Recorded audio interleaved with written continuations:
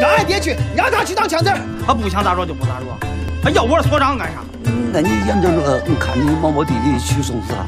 谁死埋谁，白给脸不要脸！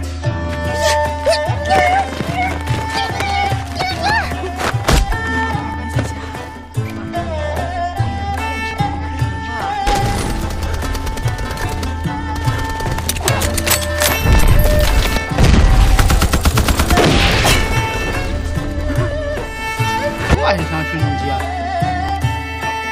我去你姐，新情货占我便宜，那都才是谢呀！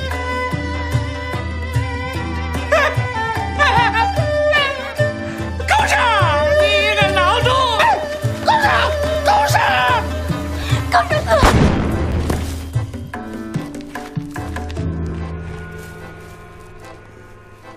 大家好，欢迎走进小明说电影。我不是王毛，上映于二零一六年，是黑白影片，跟现在许多电影不太一样。影片中既没有华丽的镜头，也没有什么炫酷的特技，却表达出了所有想要表达的东西。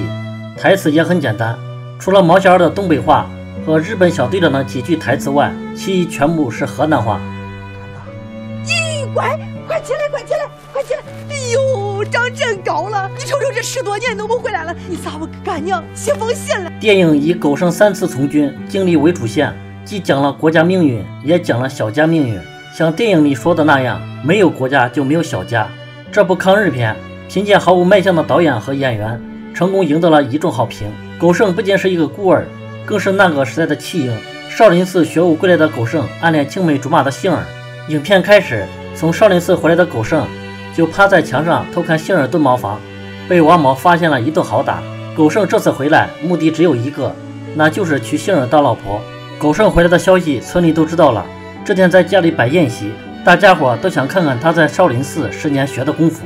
狗剩在村民的再三吆喝之下，打了一套不伦不类的挑水拳，从而被大家嘲笑。实际上，狗剩这十年里就没学啥功夫，只做了一件事：挑水。就在他们败兴而归，开始冷嘲热讽的时候，狗剩一个巴掌就把桌子拍成两半。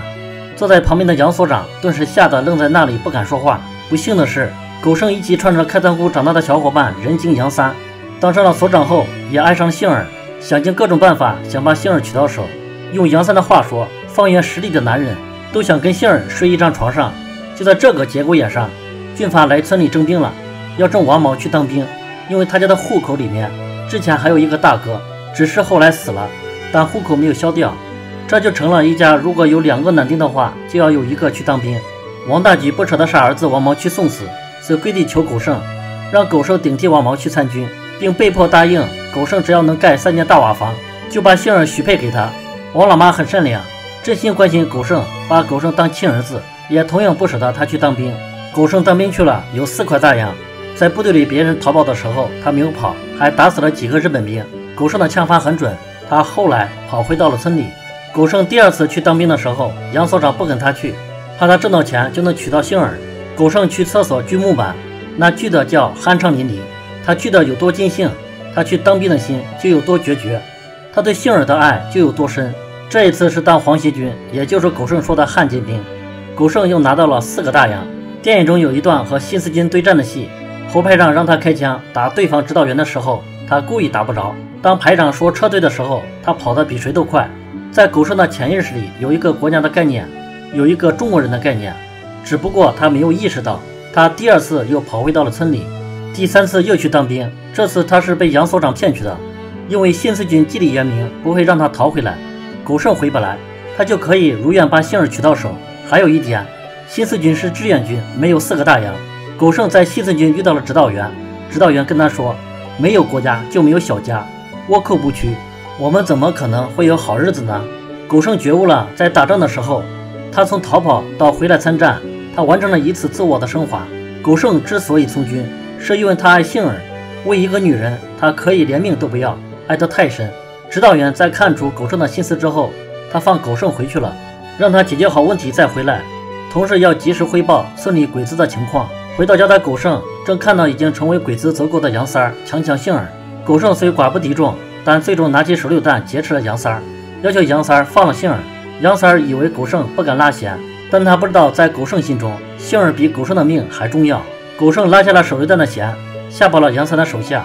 巧了的是，手榴弹是颗哑弹，但杨三儿也被狗剩吓跑了。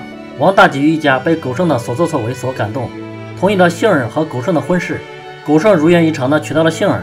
为了报复杨三引来了鬼子，他要借鬼子之手除掉他的心腹大患狗剩。可杨三忘了一件事：鬼子是泯灭人性的。